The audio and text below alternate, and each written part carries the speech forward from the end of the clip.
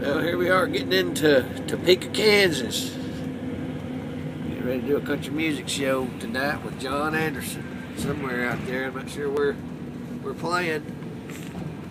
I've got a bad cold. Bad, bad, bad cold.